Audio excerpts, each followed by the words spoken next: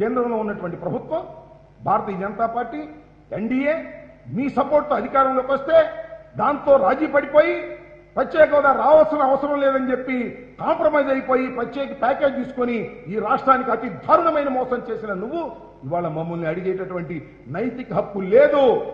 ప్రజలకు మేము సమాధానంగా ఉంటాం. ప్రత్యేక హోదా గురించి మేము ఎప్పటికీ కూడా కేంద్ర ప్రభుత్వంతో మాట్లాడుతూనే ఉంటాం.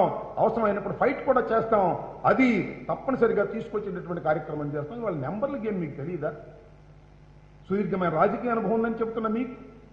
ఇవాళ నెంబర్ గేమ్లో భారతీయ జనతా పార్టీకి అత్యద్భుతమైన మెజార్టీ రావడం వల్ల మన అవసరం వారికి లేకపోవడం వల్ల వారిని మనం మెడలు ఉంచలేకపోతున్నటువంటి సందర్భాలు ఉన్నాయి. అయినా సమయం కోసం ఎదురు చూస్తున్నాం. మేము తప్పనిసరిగా దానికోసం ప్రయత్నం చేస్తాం. అన్ని విధాలా ప్రయత్నం చేస్తాం తప్ప నీలాగా ప్రజల్ని మోసం చేసేటటువంటి తత్వంతో మేము లేవనే విషయాన్ని దయచేసి మీరు గమనించాలని ఈ సందర్భంగా నేను చెప్పదలుచుకున్నాను. కాబట్టి ఇవాళ అనేకమైనటువంటి విషయాలు ఇవాళ చంద్రబాబు నాయుడు గారు మాట్లాడారు. మాట్లాడుతూ ఇంకో మాట అన్నాడు. తమ్ముళ్ళు భయపడమాకండి. వచ్చేది మనమే. ఎక్కడికి వస్తారు? ఎక్కడికి వస్తారండి మీరు? ఈ రాష్ట్రంలో మళ్ళీ తిరిగి మీరు అధికారంలోకి వచ్చేది కళ మాత్రమే. అయినా కూడా ప్రజల్ని ఏదో మీ కార్యకర్తల్ని మభ్యపెట్టాలనే ప్రయత్నం చేస్తున్నారు. ఒకటే మనం చేస్తున్నాం ఏ చెట్టు లేని చోట అముదం చెట్టే మహావృక్షమట. అలా మీరు ఈ రాష్ట్రంలో వెలుగొందారు. కాంగ్రెస్ పార్టీలో సరైన నాయకుడు అవతల లేకపోవడం వల్ల మీరు ముఖ్యమంత్రిగా చలాయించారు.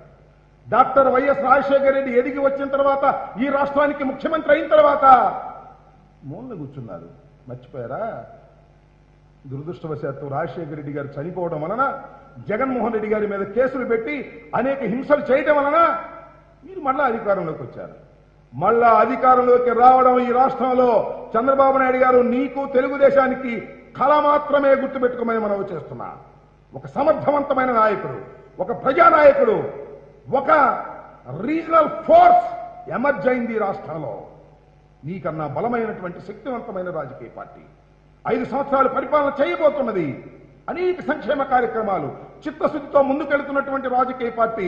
ఈ రాజకీయ పార్టీ ప్రారంభమైన తర్వాత ఈ రాజకీయ పార్టీ అధికారంలోకి వచ్చిన తర్వాత జగన్మోహన్ రెడ్డి గారి చక్కని పరిపాలన ప్రజలు చూసిన తర్వాత ఈ తెలుగుదేశం పార్టీకి ప్రతిపక్షాలకి నూకలు చెల్లాయి గుర్తుపెట్టుకోమని మనం వచ్చేస్తున్నాం. మళ్ళా తిరిగి అధికారంలోకి రావడం అనేది నువ్వు నీ కొడుకు కళ్ళ గుర్తుపెట్టుకోమని మనం వచ్చేస్తున్నాం. మళ్ళీ అధికారంలోకి వచ్చే ప్రశ్నే లేదు. తమ్ముళ్ళు నమ్మమాకండి.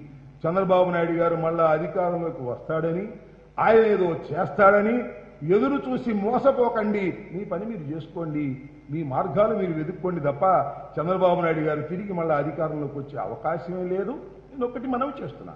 చంద్రబాబు నాయుడు గారి కాలంలో అద్భుతమైన భవనాలు కట్టారు తెలుగుదేశం పార్టీ ఆఫీస్కి. హైదరాబాద్లో ఉంది. మన ఇక్కడ ఎక్కడది? తాడేపల్లిలో కూడా ఉంది. ఇవన్నీ కూడా హెరిటేజ్కి మాల్స్ పెట్టుకోవాల్సిందే తప్ప మీకు మళ్ళీ ఏమి దానిలో పనే ఉండదు గుర్తుపెట్టుకోమని మనం చేస్తున్నాం గుంటూరులో ఒక ఆఫీసులు ఎక్కడ చూసినా బ్రహ్మాండమైన ఆఫీసులు కట్టుకున్నారు. ఈ ఆఫీసులన్నీ హెరిటేజ్ మాల్స్ పెట్టుకోవాల్సిందే తప్ప తిరిగి మళ్ళా అధికారంలోకి రావడం ముఖ్యమంత్రి కావడం ఈ రాష్ట్రంలో జరిగేటటువంటి పని కాదని కూడా ఈ సందర్భంగా నేను మనవి చేస్తున్నాను. అంతేకాదు చంద్రబాబు నాయుడు గారు ఇంకొక మాట అన్నారు మొన్న మాట్లాడుతూ.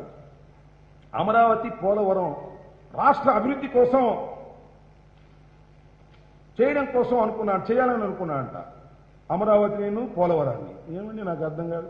అమరావతిని పోలవరాన్ని ఆదాయ మార్గాలుగా ఎంచుకొని దోచుకున్నారు తప్ప రాష్ట్ర అభివృద్ధి కోసం ఉపయోగించారండి? అదేమంటే నేను అంటున్నాడు అమరావతిలోనంట లక్ష నుంచి రెండు లక్షల కోట్లు ఆదాయం వచ్చే విధంగా సంపద పెంచాంట ఎవరికండి? ఇది జాతి సంపద అంట. ఎవరి జాతి సంపద? చంద్రబాబు నాయుడు గారు మీ జాతి సంపద లేక తెలుగు జాతి సంపద ఇది. మొత్తం నీ వర్గానికి దోచిపెట్టాలనే ఉద్దేశంతో లక్షల కోట్ల రూపాయల కుంభకోణాలు చేసి అమరావతిని ఇవాళ మేము సర్వనాశనం చేసేమంటుందని నాకు అర్థం కాలేదు. ఏంటండి?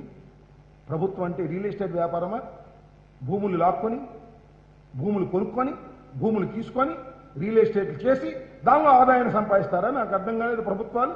నేను ఒకటే అడుగుతా ఉన్నా ఎక్కడైనా ఏ రాష్ట్రంలో అయినా సరే రాజధానులు నిర్మించిన రాష్ట్రం ఏముందండి హైదరాబాద్ ఎవరైనా నిర్మించారా? బెంగళూరు ఎవరైనా నిర్మించారా? చెన్నై ఎవరన్నా నిర్మించారా? ఏమిటి నాకు అర్థం కాదు నిర్మిస్తాడట ఈయన. పొలాలు తీసుకుని ఫ్లాట్లు వేసి నిర్మించి దానిలో ఆదాయాన్ని పొందుతా అంట. రియల్ ఎస్టేట్ వ్యాపారం చేసుకునేటటువంటి ముఖ్యమంత్రులు మీరు తప్ప ప్రజా సంక్షేమాన్ని కోరుకునేటటువంటి ముఖ్యమంత్రులు కాదు అనే విషయాన్ని కూడా గుర్తుపెట్టుకోండి చంద్రబాబు నాయుడు గారు. మీకు మీ పార్టీకి నూకలు చెల్లాయి మరి ఇంకో మాట అంటున్నాడు చంద్రబాబు నాయుడు గారు నిన్న. నిజాన్ని పదే పదే చెప్తాడంట. అంబేద్కర్ గారు కూడా చెప్పాడు నిజాన్ని పదే పదే చెప్పకపోతే ప్రజలు గమనించలేరట. నువ్వు పదే పదే చెప్పేది నిజం కాదు గోబెల్ ప్రచారం.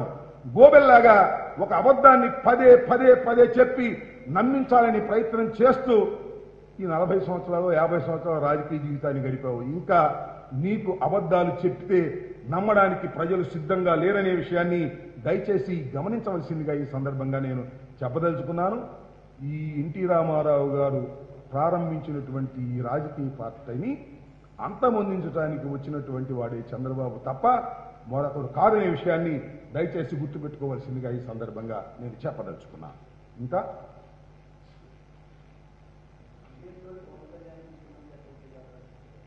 బీజేపీ వాళ్ళు పవన్ కళ్యాణ్ ముఖ్యమంత్రి అభ్యర్థిగా ప్రకటిస్తారు.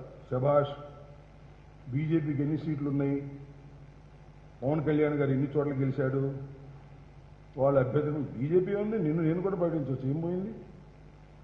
సాధ్యాసాధ్యాలు గమనించుకోండి ఏయో మాట్లాడుతూ ఉంటారు? దాని గురించి పెద్దగా కామెంట్ చేయాల్సిన అవసరం కూడా ఉందని నేను అనుకోవడం. ఇంకా? ఓకే?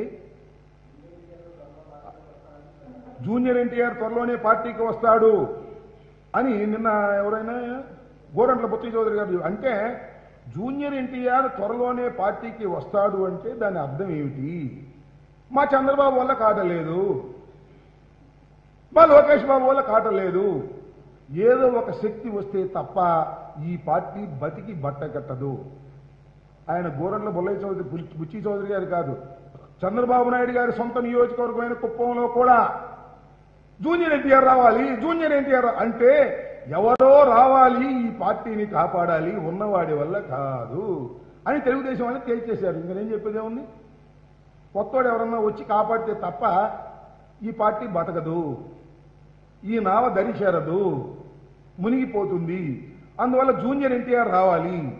సీనియర్ ఎన్టీఆర్ రాలేడు కాబట్టి జూనియర్ ఎన్టీఆర్ వస్తే దీనికి ఏమైనా పునర్జన్మ వస్తుందేమని ఆశపడుతున్నారు. ఎవరు వచ్చినా ఈ పార్టీకి పునర్జన్మ లేదు.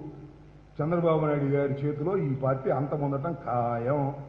తమ్ముళ్ళు వేరే మార్గం చూసుకోవడం బెటరు.